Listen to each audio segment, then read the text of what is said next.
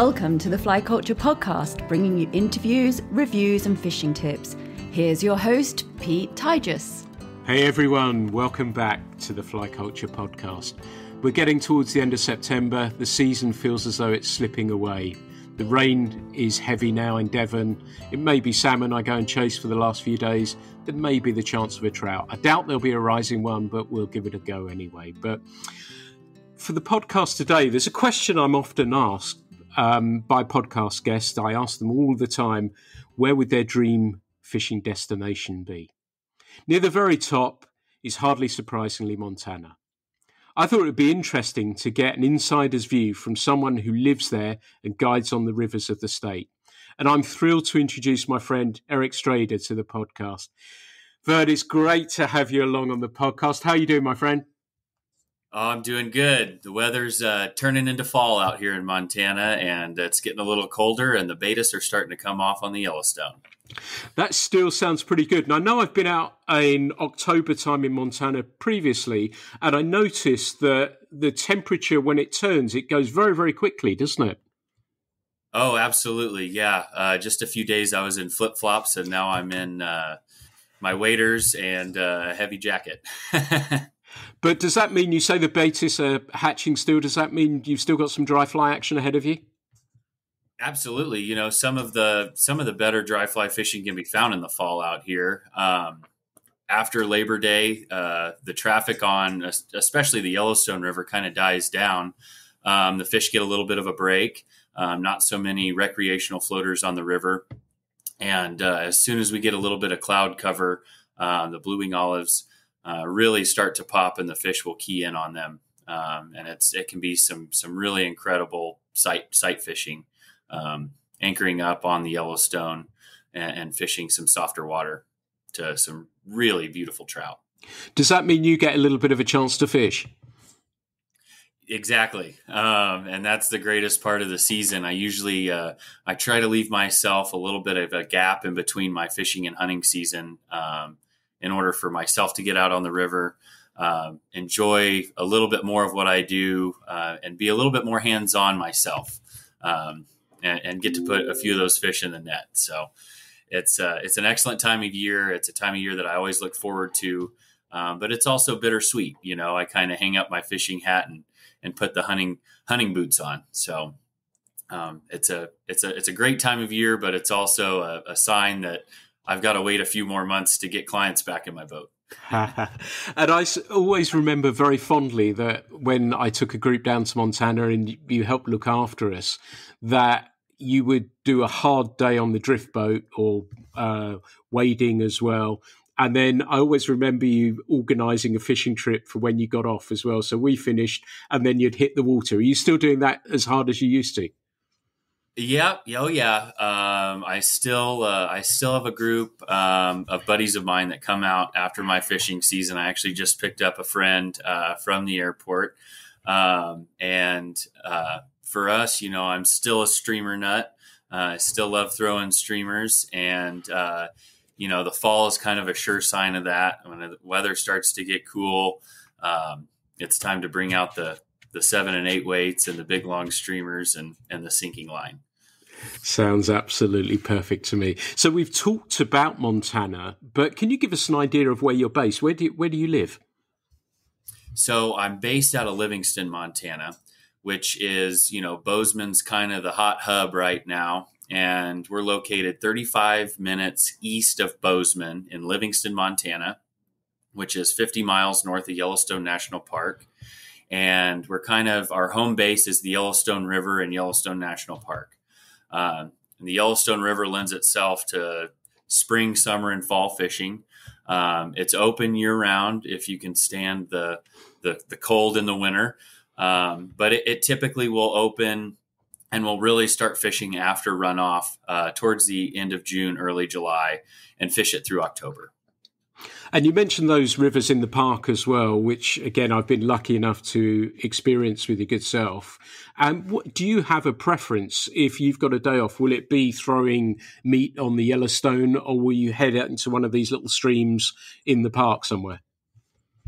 Uh, when well, I will say when I when I first kind of dipped my toes into the guiding industry and uh, and really started to guide out here, I was a I was a streamer junkie through and through.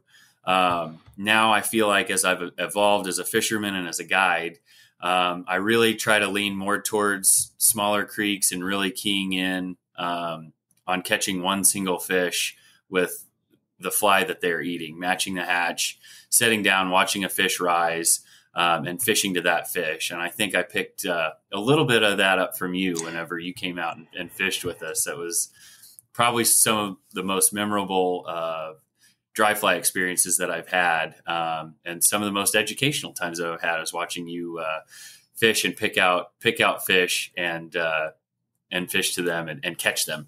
Um, and that's that's more what I will lean towards nowadays um, is to find some some picky trout and to really uh, really challenge myself um, and not just go in there with a big streamer and rip it around and see what eats it. Do you think that's an age thing then? Do you think it is now that you've got a, quite a few years under your belt now that you just like to savor every moment of it rather than getting those short times to fish and try and catch something quickly is do you think that's part of it yeah, I think uh, it's a natural progression and an evolution as a you know as a as a fly fisherman or woman um, to kind of go through the stages of you know learning how to cast and just getting a fly in the water and then wanting to catch a bunch of fish and then wanting to catch a, a big fish and now not necessarily wanting to catch a big fish but to catch a picky fish and and, and to fool a smart trout um, over catching big ones or a lot of fish. Um, I think that's kind of a natural progression, um, or at least it has been for me for sure. And I, before we, I just wanted to circle round on something that you said about Livingston, where you live. And I know that you're a creative person, you're a highly skilled photographer. You've got Derek DeYoung and and AD, AD Maddox in Livingston as well. Is it a creative area? I've, I've been there very briefly, but is is it a hub for creative people? It, it sure is. Uh, not only um, photographers and and famed fly fishermen, um, but also writers, movie stars, um, and, and, you know every uh, the one thing that everybody tends to have in common is fly fishing, um, which is which is pretty cool to see all these creatives uh, around town and uh, everybody's minds going in a bunch of different directions and everybody's got their priorities, but at the end of the day, everybody wants to just get out on the river and fish. yeah, that sounds perfect. And it's an interesting time, I guess, for Montana as well, given the uh, Kevin Costner's TV program Yellowstone, which I've been addicted to. I have to say, mainly because I'm trying to work out if if I spot Livingston, because it sometimes looks like Livingston in some of the shots. Like, I, am I right or wrong? Yeah, yeah, abs- absolutely. So it's been uh, it's been an interesting ride. Um, when the when the show first came out, I believe they were shooting it uh, in maybe Oregon and Utah, uh, a few other places. Um, now they actually have a film ranch um, in Paradise Valley that they filmed. I don't know necessarily that show, but quite a few westerns. Um, I was actually working for a hunting outfitter, and they filmed the show 1872, I believe it was, was the the prequel to Yellowstone. Um, they shot on one of the ranches that I guide on for hunting. Um, when they go through the plains and all that kind of stuff of eastern Montana, that's where they that's kind of where they filmed it. Um, very neat to see some of the uh, the movie stars around town. Um, a lot of times you don't necessarily recognize them, which is pretty cool. Um, a lot of them are a lot shorter and smaller than they look on TV. Um, but uh, yeah, and it's it's it's certainly been um, started a boom, almost, uh, you know, kind of related to some of these old timers that have talked about a river runs through it when they filmed it here in Livingston, and how the the fly fishing culture kind of really had a boom in the in the early and mid '90s. Um, we're kind of seeing the same thing, uh, which has been excellent. You know, the more the more people that we can get into this sport, the more it's going to grow, and and ultimately, um, in my mind, that that represents more and more conservation that we can put towards you know, helping protect, uh, especially these native Yellowstone cutthroat that we have out here, and just all of our water in general. Lovely answer. And does that mean that there is more traffic on the river as a result of that, or have you noticed it's got busier very very quickly. Plus lockdown absolutely. as well, I guess. Yeah, absolutely. So so so you touched on that just a little bit between between the show Yellowstone and the traffic. People want to come out and see this beautiful area that we live in and COVID wanting to get out of the house, being able to work remotely, we've really seen, you know, a pretty a pretty large boom um, in the fishing industry, and um, you know, quite a bit of traffic on a lot of these rivers. Um, but with that being said, you know, there's so many different places to fish. Um, there, there's going to be, you know, your top five you know rivers out here that are you know frequented a lot and uh, have, have more traffic than others. Um, but it doesn't seem that the fish have really minded most of that. Um, it's put an impact on a, on a, on a few fisheries. Uh, but i would say you know it's it's it's not necessarily the fishermen it's more of the fact of our weather and uh, i believe that it's more weather weather dependent as far as the snow and the drought um, and that kind of stuff. As far as the fishing pressure goes, um, I think the fish are more affected by that than you know the sports that we have um, practicing good fish handling techniques, stuff like that. But there certainly are more and more people um, out on the river in the last three years than than we have had in the past. And putting into context, I was going to come back around to the Yellowstone for listeners in the particularly in the UK. What is the Yellowstone carrying fish per mile at the moment? Uh, the Yellowstone, as far as I know, we're right around 3,500 fish per mile. Um, and and those that data is collected in the springtime. Um, there's been some talk on some of these other rivers on on how that data has been collected and how how true the numbers are to the Yellowstone or some of the other rivers. Um, I think that they do, you know, a, a, fairly good job of being consistent on trying to collect that data. Uh, there's a few rivers where it might be a little tougher for them to get more accurate data than, um, say, the Yellowstone. Um, but the Yellowstone seems to be in pretty good shape. Um, you know, last year we had a, a, a 500 year flood, which which had a huge impact uh, on the fish, on the bugs. Um, the river structure itself. Um, and I really feel uh, like, you know, this year post flood, the fish have really recovered very, very well, as well as the bugs. Um, the bug life seemed to bounce back pretty well. And I think, you know, it, it, was really hard to deal with the flood last year. Um, had a lot of cancellations. Uh, the fish weren't quite sure what was going on. Neither were we. Um, but I think it's probably long term one of the best things that could have happened to the river. It had a major clean out, and I think in the next five years, the Yellowstone's probably going to be the river to fish in Montana. Wow, that sounds pretty cool. And it is one of those sort of legendary rivers that so many people have heard about. And I remember the shots with that flood. There was a, a, a shot of a bridge going, wasn't it? Um, yeah, yeah. Was that Gardiner Way or around that that was yeah. So uh, the one of the lodges that I work for, Hubbard's Yellowstone Lodge, which is the lodge where where I met you. Um, that was the bridge to go up to that lodge. Wow. Um, I got a call at six thirty in the morning, and somebody said, "Hey, the bridge just went in the river." Um, I had no idea what they were talking about. I couldn't even imagine that giant steel bridge getting swept away. Um, and they sent me the video, and I just was I was flabbergasted. Um, I couldn't believe it. And then once the river went down, it, it kind of it was pretty funny. As as much uh, force as it took to kind of blow that bridge out, it was so heavy and so so much steel that it just literally just sank right there below where it where it went in. There was a lot of speculation of oh it went downstream and everybody was looking for parts and pieces of it, but it literally just came off of the the side, just went straight down. um, which they they actually cleaned up 100%. It's no longer in the river. Um, which is great. And the plan to have a new bridge by, I believe, next spring, um, before July. Um, they should have a new bridge in there, which is great. great! Wow, I didn't realize it was that actual bridge, so I kind of know that one. Yeah. So it's lovely to to hear that. And you know, we were talking about the business of the rivers, and you talked about the lodge there, and that that got me thinking about, you know, when I first fished the states many many years ago, I assumed wrongly we didn't have internet, we didn't have anything else, that it would be like some of these um, salmon run shots you see combat fishing, but it's anything but that. And there's so many streams, isn't there? I was thinking of the one that ran through the bottom of Hubbard's that I enjoyed fishing just as much. And there's all these streams. There's so much water, isn't there? That's you're not gonna have to worry about even in the park bumping into loads of people, is there? There's always somewhere that you could go fish. Absolutely, and that's the beauty of where we live. Um, you know, it's it's great to fish. You know, I, I call them kind of like the big five. Um, you know, you have your your major rivers that that everybody has heard about. You know, the Yellowstone, the Big Hole, the Madison.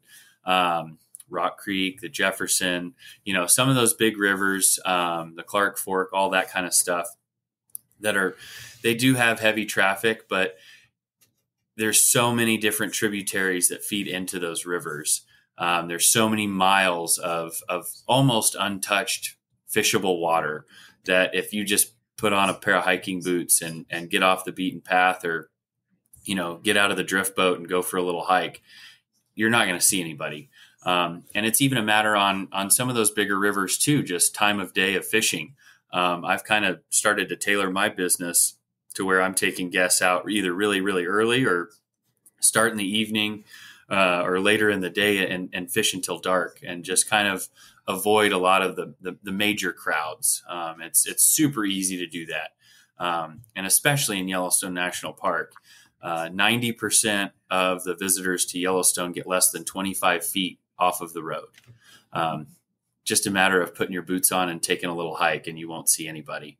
Um, and that's and that that that rings true for the entire state. Um, there's so many so many tributaries to these major rivers that that don't get fished, um, and that makes it a really special kind of kind of a place where where you see you see pictures of loaded loaded streams with fishermen elbow to elbow, and it's it, it's certainly can seem like that some days in the drift boat on the Madison, um, but you get out a little ways and, and, fish some of those different places, or or go out later in the day, and a lot of times you won't see anybody. And so for you, where would be your favourite place? Where do you like to go fish? You said obviously you like to fish these um, smaller streams. I guess I'm in danger of you hotspotting, although I guess it's not going to happen here. But would it be a, around the Livingston area? Because I know we were talking off mic and you said you're guiding throughout the state now. So does that mean that you've got places, that little sort of hidey holes that you like going to fish every now and again?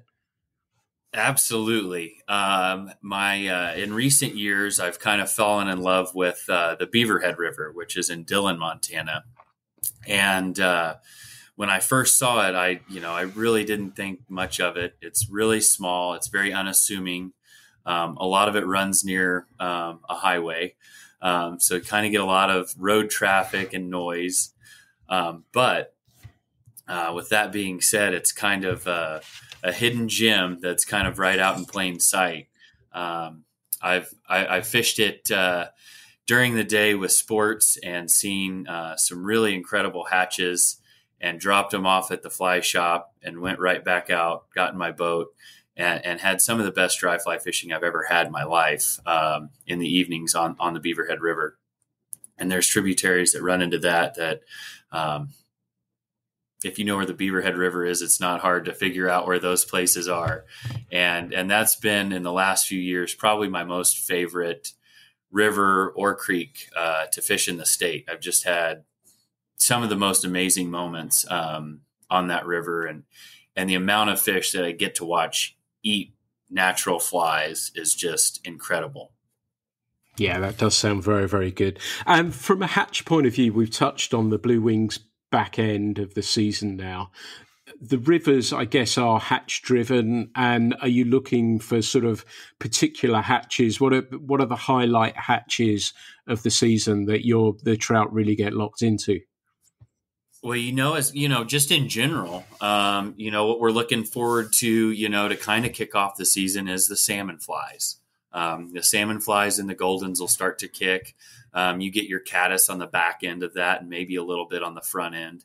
Um, and those those are excellent. Um, I prefer personally to fish caddis during the salmon fly hatch. It seems like the fish are a little bit more eager to come up and eat caddis over a over a big dry fly or one that they've seen quite a few times from from other anglers in front of us in the boat. But um, you know what I what I've kind of started to like more and more um, is is looking for that. You know, after the caddis, you know, you get your yellow sallies that come off.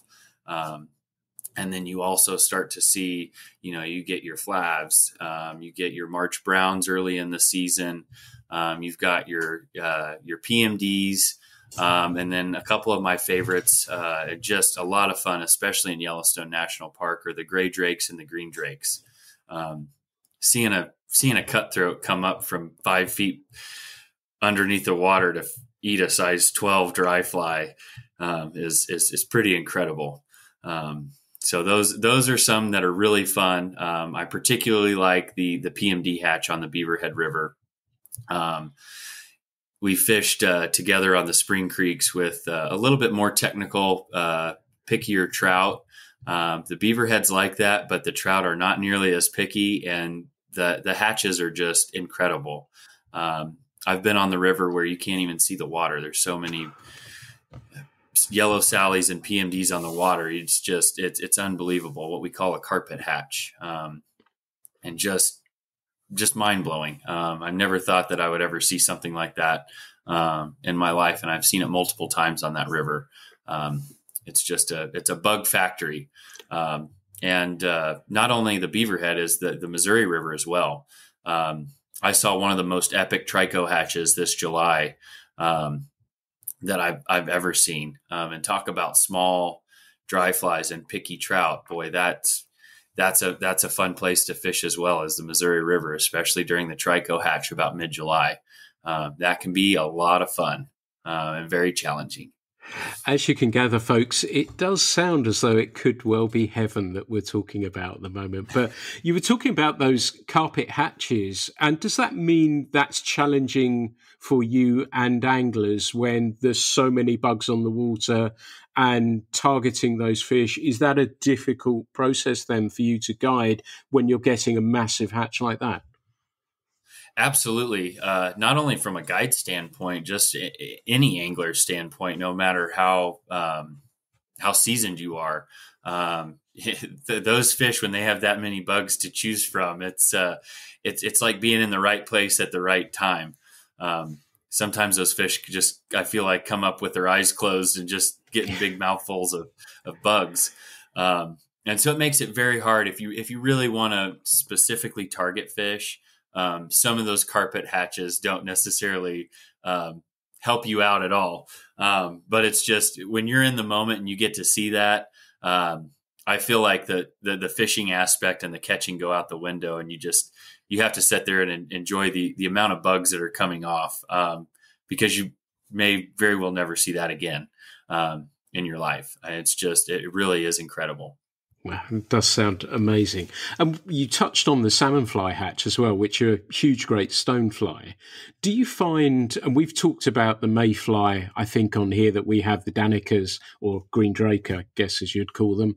And we have situations where the fish will suddenly just say, I've had enough now, and turn onto midges or tricos or whatever that may be. Do you have something similar to that? Do you experience that? The fish almost have enough of a hatch and just switch off it immediately. They just can't take any more of it.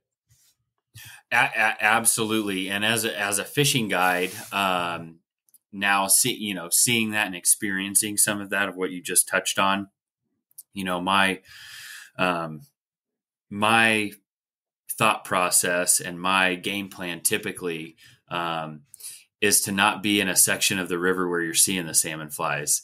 Um, as you as you may know, the salmon flies move up the river every single day, um, and trying to catch that famed salmon fly hatch. Um, I'll get to areas where my clients often will say, "Well, there's no bugs up here," and I say, "Well, that's perfect. We want to get in front of them where the fish haven't haven't seen them or are not absolutely gorged on them, where they're just they've eaten enough and they're pinned down to the bottom and they're resting." Um, and a lot of times, when you're right in the middle of all those bugs, it's the hardest time to catch the fish. Um, and they absolutely do get full, and they do. They may not stop eating, but they're going to get very selective. Um, and and so my plan of attack when when that starts to happen is really try to try to dial in where those bugs are on the river and try to get ahead of them, um, at least a, a, mile or two up the river, um, if not ten miles up the river, um, to try to get ahead of them try to put those flies uh, in front of fish that haven't seen a million natural salmon flies or golden stones come down the river. Um, that's sort of my plan of attack, typically during the salmon fly hatch, or just to not throw a salmon fly like I touched on. Um, throw those smaller caddis, typically a little black caddis, an 18 or a 20. We'll, we'll get them to come up way more so than a, a size four salmon fly. Nice, nice. And what about hoppers then? Do you are they, a bit of a guide's dream that when they come onto the water? Absolutely. You know, we're always looking for hopper season. Um, we may be guilty of, of starting to throw those way earlier uh, than we used to. Um, it, one, it's easy for the clients to see them.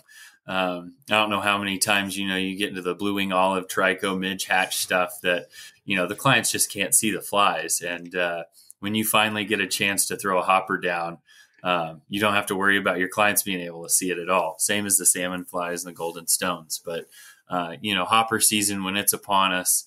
Um, it's God's gift to guides. Um, the clients can throw them in there, they can drag them around, they can do whatever. Their minnows don't have to be pretty, and fish are keyed in on them. Um, and that's typically, you know, mid July to August, um, even early September. Um, you know, on you know the major rivers, uh, the Madison, you know, July and August can be great. Early September, uh, the Missouri, even all the way through September, can be excellent. And then, you know, yesterday we we landed a couple of fish on a hopper, even though it was super cold outside. Uh, the weather was starting to turn. The fish are still eating hoppers. Um, so that's always great. A hopper with a size 18 blue wing olive behind it did the trick yesterday. nice, nice. And I guess the hopper's going to be one of those flies that can just bring a, a trout up from the depths to come come eat it, can't it? Absolutely, and that's the great thing about uh, about the hopper bite is those clients don't have to put put the fly in, in, in an exact spot or have a great drift. Um, they can kind of throw it out wherever. Um, you know, as that as that water warms up and the river the rivers start to drop, especially the Yellowstone, these freestone streams, the Yellowstone, the Big Hole. When that when that water starts to drop and you start seeing those edges and those drop offs really get pronounced by that clean water going into green water, you can literally throw that hopper on the edge or two feet off the edge of that green water, and those fish are going to come up from who knows how deep to eat that.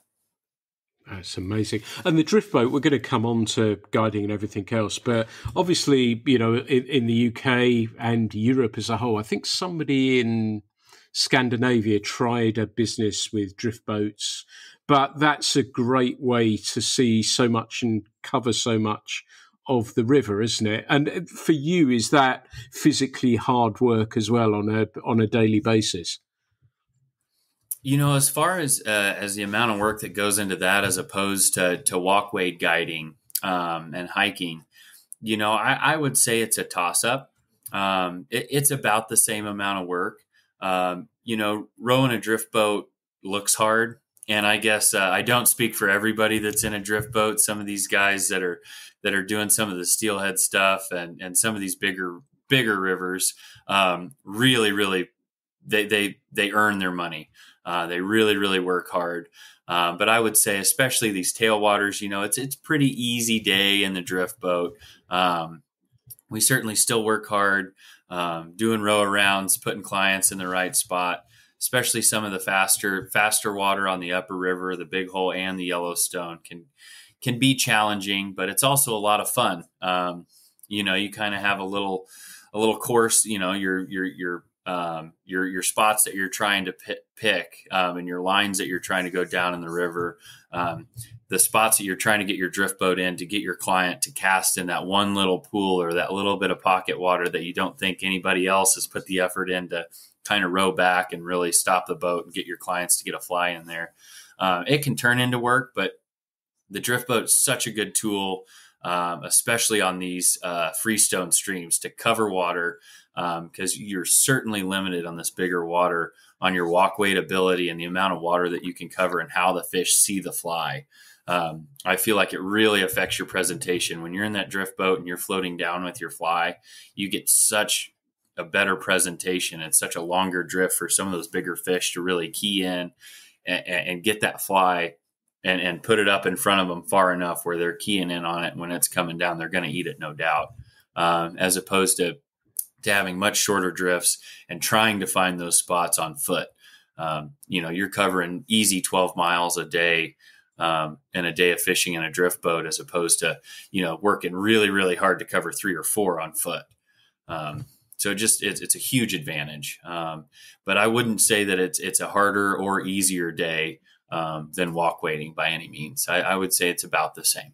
Right, got you. Because I was thinking as well, as a guide, it's nice for you that you can control if your clients aren't so good at casting, you can come closer into the bank. Because to give listeners an idea, what you're doing is throwing towards the bank, putting a, a, reach cast or a mend in, and then letting it drift and then lifting off. And it's quite rapid fire fishing, but you can control how close to the bank. If somebody hasn't got a great cast, you can throw there. Is there much of a difference with you being closer to the bank rather than further away from it? How have you noticed that you know five, ten feet can make a big difference? Uh, absolutely, and it's all that that that really is um, kind of. Uh, water uh, water depth or flow dependent on how close or far away you are from the bank. I find, you know, earlier in the season, um, as the water levels are high and coming down, those fish are a lot closer to the bank um, and tucked in. And especially like during your salmon fly hatch, when when that water is almost at its peak and coming down, those fish are right on the bank, and you have to be a, a, little bit more of a seasoned caster or have a little bit more experience to really get that fly in there. You can still take clients that are that are novice fishermen and you can get them on fish. Um, but but when those fish are, are keyed in and they're stuck on those banks, kind of as I say, you you really have to. It, it's it's more angler dependent than it is on the guide we can get you close, but you've got to you've got to pick that spot and you've got to be within a foot of the bank.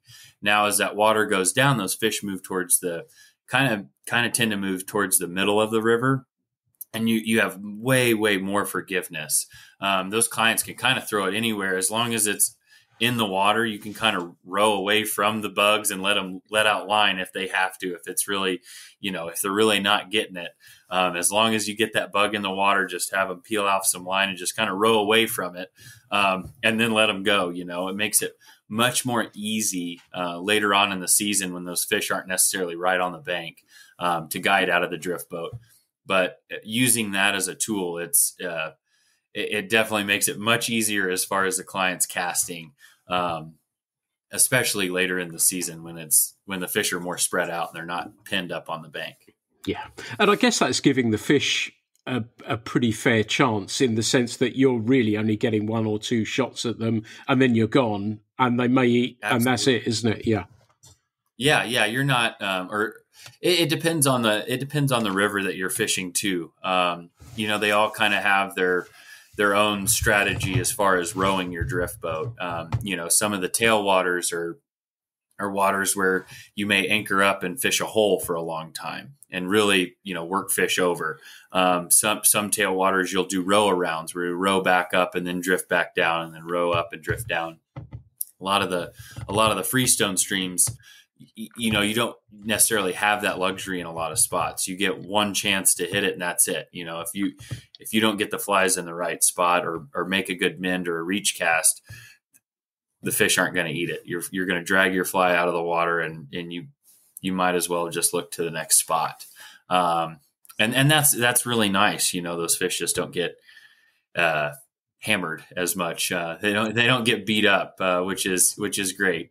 Um, it gives them more of an opportunity to be wild natural trout looking for looking for real bugs as opposed to seeing the same kind of nymphs go through the the same runs over and over all day long. Nice, nice, and it is a surreal experience for you know a, a, a, nation and a, part of the world, I guess, Europe that doesn't experience drift boating. All I can say is, if you get the chance, do it because it's rapid fire, rapid excitement. I remember, I think I probably said to you when when we met that the first time I did it, my friend Ray got me a, a day on the Colorado, and the guide had been out the night before. We hit every rock and it just was a nightmare. My my friend was really embarrassed, and we were netting, trying to net our own fish while this guy was sort of trying to, and it sort of put me off a little bit. And then thankfully, I fished with yourself, and then I got it and absolutely loved it. And I know the team that um, I brought down on that trip. I said to, I remember briefing them beforehand and said, "You're not going to like it the first time." You're going to think it's really weird, and then I could hear one of them quarter of a mile away up the river screaming with excitement that he had caught a fish, and and it is one of those opportunities, and you get to see so much as well, don't you? You might see wildlife, bald eagles, moose, whatever it may be. It's it's not just the river; you're seeing so much along the way as well, aren't you? Yeah, that's that's what's nice about being in the drift boat is just the fact that you can cover so much water your perspective of of the fish and fishing is totally different because you're doing it from the river as opposed to the bank. Um, you, you know, and a lot of times in those in those drift boats, you've got the perspective where you're standing up and looking down um, and and watching those fish come up, um, as opposed to sometimes you're you know you're down you know trying to be in the grass, being a little bit more stealthy, not necessarily seeing the fish's reaction to your fly when it hits the water. You really get a cool perspective of being in the boat and, and being able to watch the fish, along with the, the abundance of wildlife that we have out here. Um, especially, you know, over in Dillon on the Big Hole, it's super common to see moose on the on the river. Um, it's it's very common to see elk along the river over here on the Yellowstone. Um, the bald eagles are super abundant. Um, the ospreys, the golden eagles, even. Um, you know, it's it would be a rare occurrence if I didn't see an osprey come down and, and catch a fish in front of us during the course of the day, which, you know, sometimes can be frustrating if the fishing is difficult and they do it right in front of you and make it look easy. But it's also just incredible to see, you know, uh, nature and the life cycles and, and everything like that. And, and getting to see, you know, Mother Nature raw and, and wild. Uh, it's it's really a, a, treat to have out here to be able to cover so many miles, river miles, um, and and do it in the river instead of on the bank. Nice. Let's talk about species then. You've talked about the cutthroat. You've talked about brown trout. What else do you have in your streams there? So um, the cutthroat, uh, we've got the West Slope and the Yellowstone cutthroat, uh, which we are so lucky to have and very fortunate. Um, we also have rainbows and brown trout. Um, and then in a few places, we get to, uh, we're lucky enough to have Arctic grayling um, as well as brook trout. Um, we still have a, a, a, couple of places that are really healthy brook trout fisheries, um, some high mountain lakes, as well as some really small, tiny creeks that can be just an absolute blast to, to fish, little tiny pocket water bring in a one weight or even smaller and, and, just have a heyday with with with smaller brook trout and just eager to eat dry flies all day long. It can really be a blast. Um, so we've got tons of opportunity. Um, the other fish that often gets overlooked is the mountain whitefish uh, which is one of the only native fish uh, around here um, other than the yellowstone cutthroat. Um, they kind of get dogged on a little bit but they also eat dry flies. Um, so, you know, some days those can be a blast to catch and a blessing. Uh, when the fishing gets tough, they seem to always eat. So, can't forget the whitefish. I'm so pleased you said that because I love them. I've got a real soft spot for them. They're kind of like grayling with a slightly different shape mouth, and of course, without the beautiful dorsal fin as well. But um, they are, um, yeah, I think they're the unsung hero sometimes as well, and that can make a super super grand slam. Hopefully, if you're lucky enough to to catch absolutely. all of those, yeah, absolutely. Um, so. A guide's dream. Yeah. so, guiding to you, how long have you been guiding now? And I'm guessing, uh, well, I, I think I know the answer to this because we talked about it when I was over with you, but what brought you to Montana and what brought you into guiding?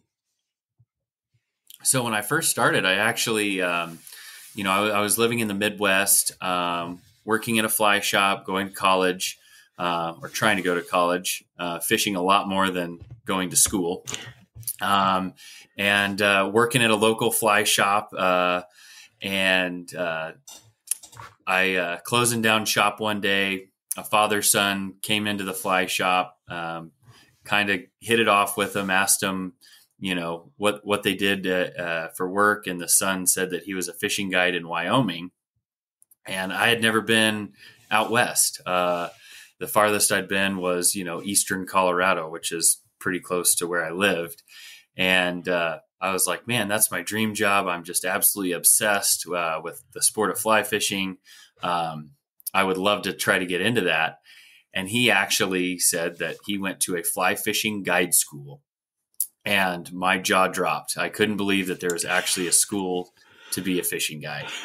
Um, so I instantly went home, researched it, um, made a few phone calls, and that's when I found Hubbard's Yellowstone Lodge. Uh, they were running a fishing guide school, and I had talked to a guy out there, Eben Schaefer, and uh, he was kind of running the the fly fishing guide school. He had a spot in August, uh, which was a few months away. Um, I took him up on it. I came out. They hired me out of the guide school, and I really never looked back. And that was in 2008. Um, so that was, you know, 15 years ago. I came out to Montana and started guiding, kind of, kind of dipped my toes in, and really started guiding probably about, you know, totally full time um, in like 2011. Um, full time guiding, um, 2011 um, until about 2015 um, and then started to bounce all over the state, do more than fly fishing, uh, started to do the upland bird guiding, uh, uh, big game hunting. And then um, six years ago, I got my outfitter's license, uh, which allows me to run my own business, hire my own guides, um, kind of step outside of just the Yellowstone area. Um, which has kind of kind of put me in a position where I've been able to, in the last few years, really bounce around the state, uh, get a really good feel for for waters that aren't as, as fished as hard, um, maybe some waters that aren't as well known, um, and, and, give me an opportunity to really give my clients um, a really good opportunity to fish waters that that maybe they wouldn't get a chance to fish or if you know they come out year after year they get a new look at a, a bunch of different water and they can really kind of hone in on you know, do they really like to walk-wade small streams? Do they like to fish tailwaters? Do they like to fish, you know, out of the drift boat in a freestone river? Um, are they just dry fly fishermen? Do they like to nymph? Do they, you know, do they want to streamer fish? Um, so it really gives um, the folks that want to come out and fish with me an opportunity to see a lot of the state, travel around, um, and really see a lot of different types of water. Um, and to fish a lot of different ways. You know, you know, I'm not just necessarily a dry fly fisherman or a streamer fisherman. Um, I can really tailor a trip to to anybody that wants to do anything. Uh, we've got all kinds of different water, technical uh, Spring Creek water to to wide open tailwater where fish are really not as picky. Um, so that's kind of been my evolution and my time spent here in Montana is really, you know, started in 2008 um, it's now 2023, and I feel like I've just kind of scratched the surface of everything that's out here. But that's the sign of a good guide for me that because it would be very easy if you had repeat customers, just say, right, we're going to meet you at Gardner and we're going to float down and we're going to cut, and they do the same thing. And that to me is testament of a good guide that you want to mix things up. And that's good for you as well, because let's put this in context for for listeners, you know, and the guiding business in the UK certainly has grown and probably continues to grow. But the amount of days people are doing, how many days are you doing guiding uh, a year? Uh, so so fishing, uh, you know, typically uh, I'm I'm right around uh, 90 to 120 fishing days a year, um, and and that's that, that's those are the days that I have on the water um, with clients, and and then I also roll over into my hunting stuff, uh, which is is is close to another hundred days between uh, waterfowl, upland bird, and big game hunting. Um, so I'm with sports and or clients for for for close to 200 days or, or more every year, um, sometimes 250 days a year, um, and that definitely, um, you know, if I was if I was guiding the same stretch of river every single day for 120 days, it'd be pretty easy to get burned out. Um, you know, that client that wants to come out on that 115th day might not get the best uh, get the best guide service. I might be a little little burnt and blindfold me and put me in a boat and send me down the river with the guys. Um, so that's what makes it nice for me as well. Um, you know, being able to bounce around and fish different water keeps it keeps it new, keeps it fresh for me, um, and I feel like the clients get um, a lot more of my attention than you know me being bored with the same stretch of water that I fished all season. Yeah, yeah, that makes perfect sense, and that must be good for repeat business. And does that mean then a lot of your business will be folks from the US, or do you get many people from overseas? Yeah, absolutely. We get we get folks from all over the country. We had a few folks from France this year uh, that came out. They floated the Yellowstone River and also fished in Yellowstone Park with us. Um, we get folks like yourself, the UK. Um, we even get uh, a fair amount of folks uh, um, extremely good fishermen from Japan, um, and, and that's that's always a treat. Um, the language barrier sometimes is uh, is a little bit difficult, um, but at the same time, you know, everybody can speak fish. Everybody can can pick a bug and point to a spot, and uh, especially the the seasoned fly fishermen. Um, when they see a rising trout, you know everybody seems to know what to do, um, and it's also nice to to have folks that, that maybe don't understand exactly what we're saying and have a different approach. Um, and that's a great learning experience for a guide um, to sit back and watch um, how somebody else approaches a fish and, and watches a fish, or maybe not watches a fish and goes right in after it. Um, just the different techniques and approaches you know, a lot of times that can be really helpful for us in the future. Like, oh, you know, did you see what he did? You see how he watched that fish and what he did there? Okay, you know, I'm going to add that to my bag of tricks and use that later on. Um, so it really, you know, diversifies our, uh, our, guiding tackle box, if you will, on uh, on ways to fish and uh, different techniques. Um, and and and it's it's really really fun when we when we get folks um, from out of the country. Um, it really makes it new. It makes it interesting. Um, but I would say the ma- majority of our, our fishing clientele uh, are from the U.S. Yeah. Yeah, I'm fascinated to know. You mentioned the Japanese, and I think when we were fishing, I, I asked you because, and I think you said Scandinavian anglers were very good, which I've always uh, felt exactly the same as well, and Spanish and lots of people from around Europe. But you mentioned the Japanese, and what made them such adept anglers, in your your opinion?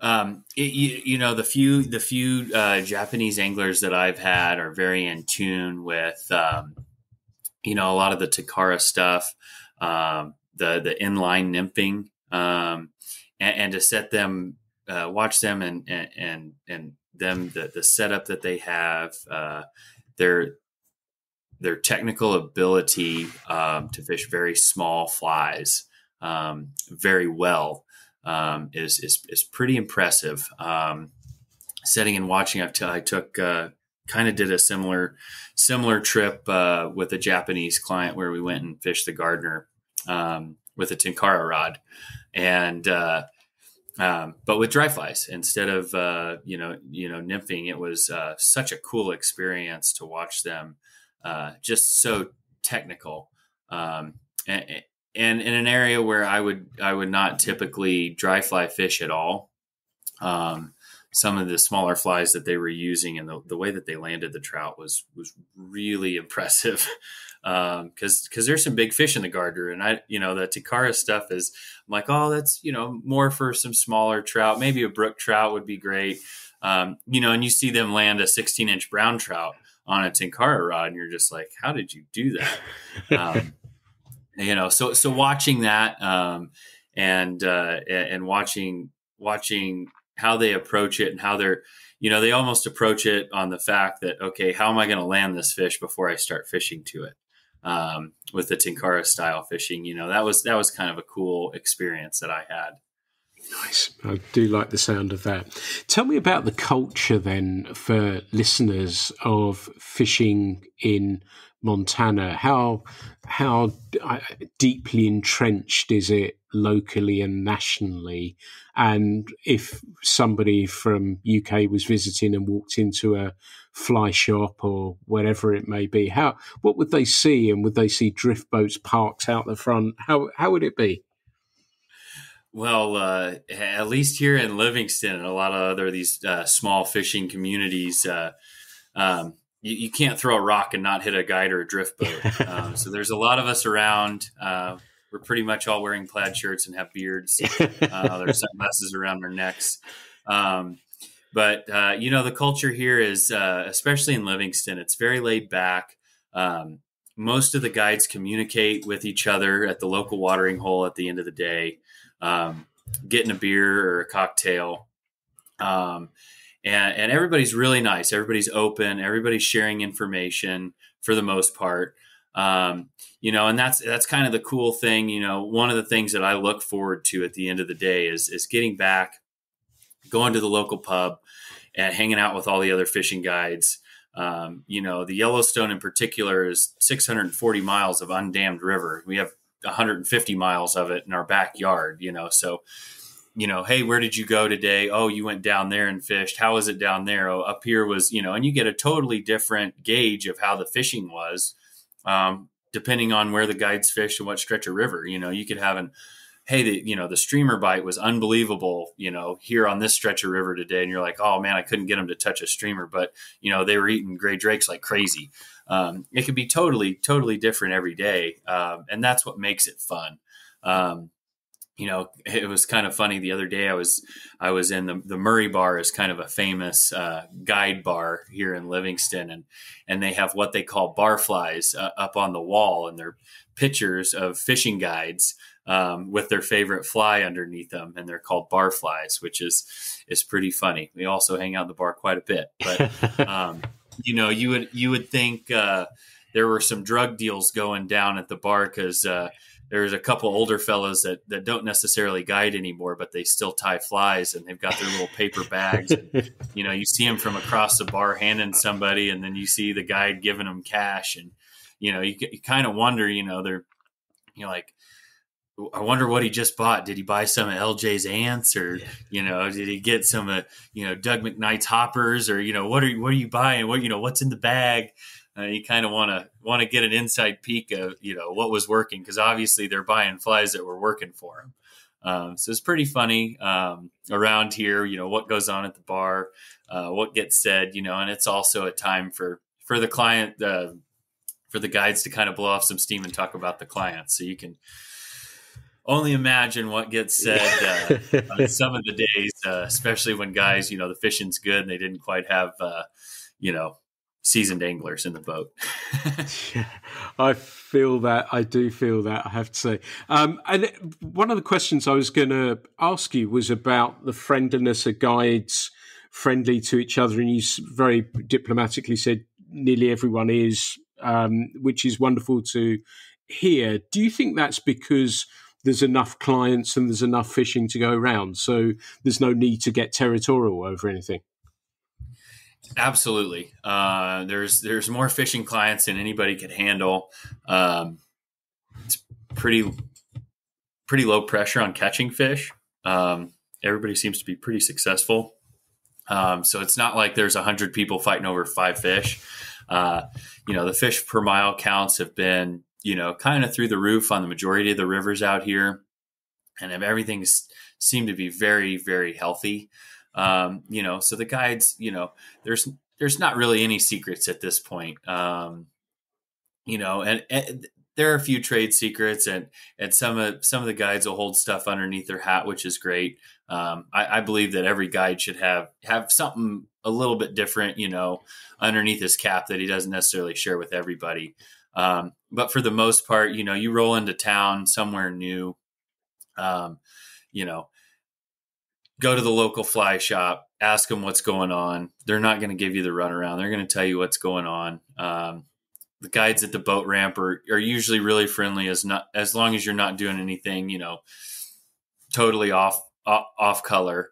Um, you know, everybody's really friendly. You ask questions, you're going to get the right answers. There's not a whole lot of people that are going to run you around. Um, and that, that is a, a, testament to, to how many fish are around here and how many people want to come out and fish. Um, very rarely do you have, uh, you know, instances where, you know, somebody's being a jackass. Um, you know, some days are, you know, you get a guide that's not necessarily having a good day and they may, they may be a little bit more snippy, um, uh, a little bit rank, but for the most part, everybody everybody's out here to do the same thing, which is to have fun and catch fish. Um, at the end of the day, that's our job.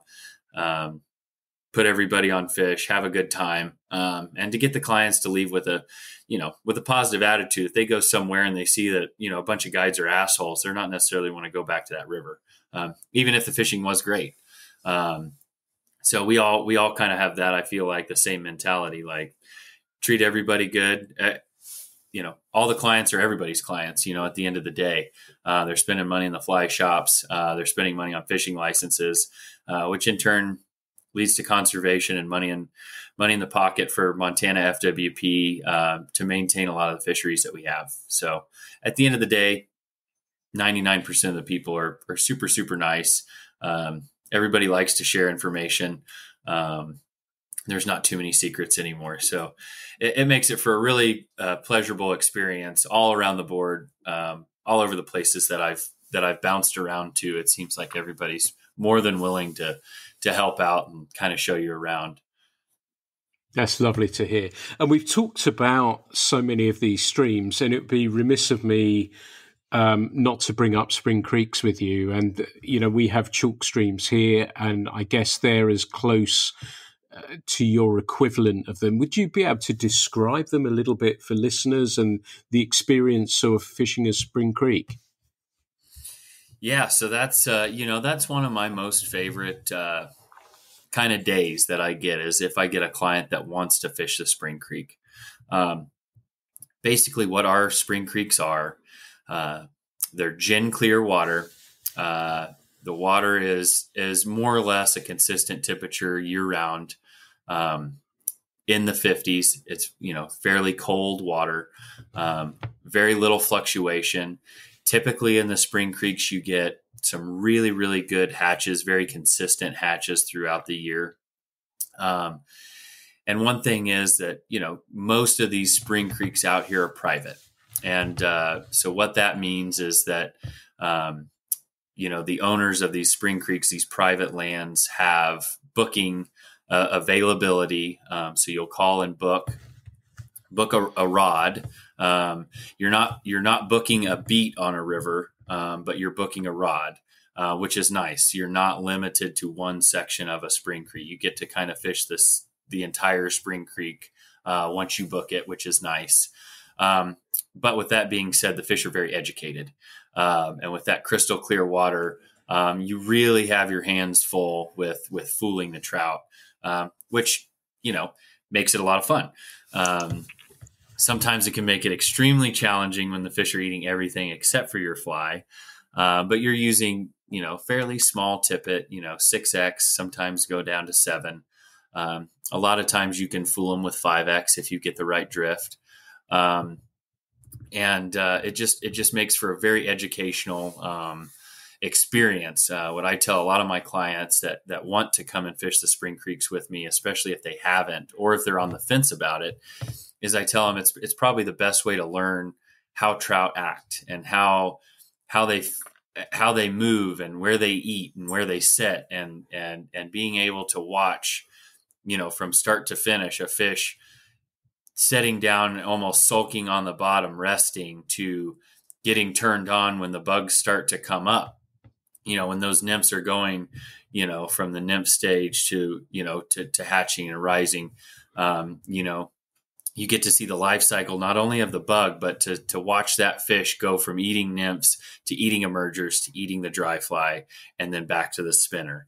Um, and, and, being able to watch that almost in an aquarium um, type setting. Um, and most of most of the spring creeks, the fish are spooky, but they're not they're not gonna move and not come back. Most of those fish have their feeding lanes and areas where they pretty much live. Um, they're not going to go too far away from where you see them. Um, they are spooky, but not in a sense where you have to be super, super stealthy um, on a lot of the spring creeks. You know, some of them are, are more spooky than others, um, but it's a really, really fun, really educational experience, um, a very humbling experience for some anglers that really think that they're dialed in. Um, and it can just, uh, it, it, can be you know one of the most gratifying um, fly fishing experiences that you can have to set um, you know it, it, more of a traditional dry fly experience where you're setting and watching a fish you're not just fishing to fish or throwing your fly in hoping a fish is going to come up you're you're finding a fish on the river you're watching it eat you're figuring out what it eats and then you're casting to it um, you know, and, and, and to me, that's, that's kind of the full circle of what we're doing as a fly fisherman. You know, you, it, it's great to go out and learn how to cast and to fish and catch fish. Um, but when you can find a fish, pick out what it's eating, identify what it's eating, tie it on, and, and put that fly over that fish and have it eat. I feel like if you do that once in your life, that's that's all you need. Um, and to be able to go back and do it again and again is is even better. Um, but but just that whole experience and that whole full circle of of fishing um, and education at the same time really is is is some of the greatest memories that I have ever fishing have, have been on the spring creeks. Um, you know, and a lot of them have small little warming huts that you can fish in the wintertime. Of course, they don't freeze. So, you know, that's a fishery that we have all year long. Um, and it can be just, just awesome. And there's, you know, in the wintertime, there's not a whole lot of people fishing out here when it's zero degrees. So uh, you can find yourself, you know, the only one on the entire river uh, in the wintertime with some pretty good midge hatches too. So um, it can be a lot of fun. Nice. That sounds absolutely fabulous. I guess you've had some of your most memorable days guiding people and some of the trickiest days guiding people as well in those situations as well, I guess. Yeah. Yeah. Absolutely. Some I mean honestly some of the some of the best memories that I have are probably the most frustrating times that I've had on the on, on the Spring Creeks. Um, and, and, frustrating also correlates to some days where I've learned the most about not only myself, my client, and also the fish. Um, you know, some days I just get to the bottom of my box and I've thrown everything, you know, and I finally tie something on that, you know, doesn't necessarily look like anything that they should eat. Um, and then I have a new Spring Creek fly. Um, you know, put that put that uh, a little bit higher in the box there, and not maybe a last pick. Um, but yeah, you know, and that's and that's the great thing about the sport of fly fishing to me is the ability um, and the opportunity that I get every day out on the water, um, either in the drift boat um, or with my wading boots on, uh, is to learn.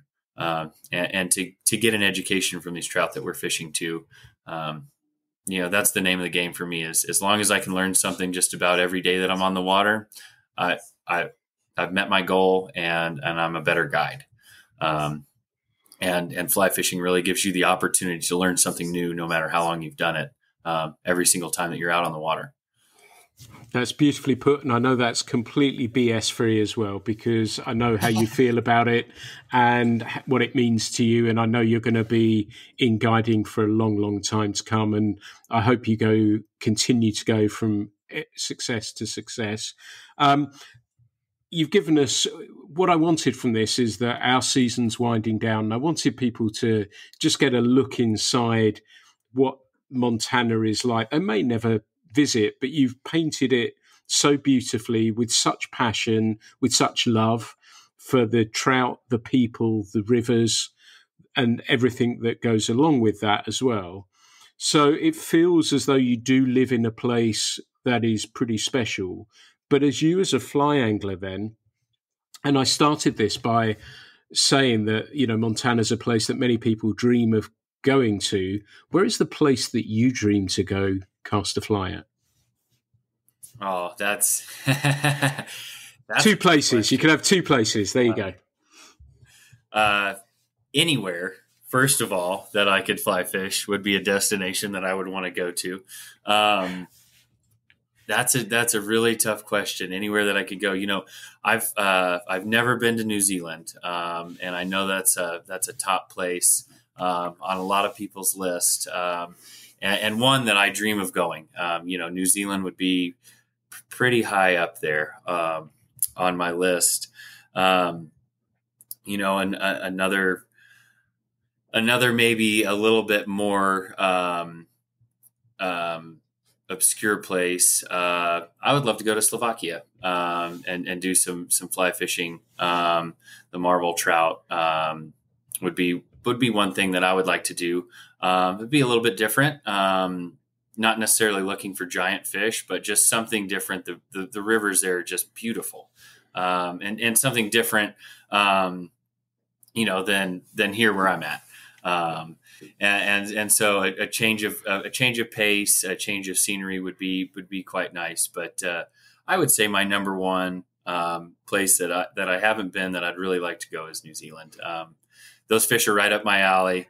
Um, I think uh, I'm a glutton for punishment on picky trout, and I think that'd be perfect. That's a very, very fine choice. But it's been wonderful to talk with you, to catch up with you. We've spoken for over an hour. Um, listeners, uh, Eric takes the most beautiful photographs as well. Um, you need to have a look at his social media. What are your social media handles? How can people find you? Or if they decide they want to go to Montana, I can't as I always say on here, he's not paid to come on here. He's not asked to come on here. I just wanted to give listeners the chance to hear a little bit about Montana from the inside. But if people decide that they're heading out that way, how do they find you? Um, well, I've got an Instagram page uh, that I run, um, and it's greater underscore Yellowstone underscore outfitters. Um, you can find me on Instagram that way. You can also find me on uh, Facebook. Uh, it's just Greater Yellowstone Outfitters. Um, and then if you'd like to visit my website, I've got tons and tons of information on lots of different lots of different water uh, on my website and that's greateryellowstoneoutfitters.com um, please uh, feel free and, and, i tell anybody uh, if anybody has any questions uh, whether or not they plan on being guided or non-guided uh, please feel free to call me and ask me any questions. Um, even rivers uh, that I don't necessarily outfit. Um, the guide community out here is fairly tight knit and fairly small. Um, I can easily, easily get you guys connected uh, with other reputable guides and outfitters out here, even if it's even if it's somewhere that I don't outfit. And I'm happy to do that. Happy to take the time with anybody to uh, to kind of help tailor the trip uh, and, and to make it what what they dream of being. You know, if people have an idea of what what they want uh, when they come to Montana, you know, I try to I try to do my best to to make that happen. That's wonderful to hear. Well, I wish you every success with the hunting season that's looming large on you now. And it's been absolutely, I know we've stayed in touch over the years and it's been lovely to catch up with you. Your passion burns as brightly and as strong as it ever has. Your love for fly fishing continues and long may that continue as well. It's good for fly fishing that we have people like you in it. Um, thank you so much for talking with me today. It's been wonderful to catch up, my friend. Absolutely. Thank you very much for having me. This has been a pleasure to catch up, and uh, I wish you the best on uh, your your falling season and uh, your upcoming season. Thank you so much for having me. It's been a pleasure. Fantastic. Everyone, this has been the Fly Culture Podcast. Thank you so much for listening to this episode. As I said, I just wanted you to get a sense of what life is like in one of those dream destinations. And I think Eric has told us so much about it that it's getting me excited about the place yet again. But thank you so much for listening to the Fly Culture Podcast. There'll be plenty more of these coming down the line soon. Thanks for listening. The Fly Culture podcast is brought to you in association with Fly Culture, a quarterly print magazine. For more information, please visit flyculturemag.com. You can also find Fly Culture on Instagram, Facebook, and Twitter.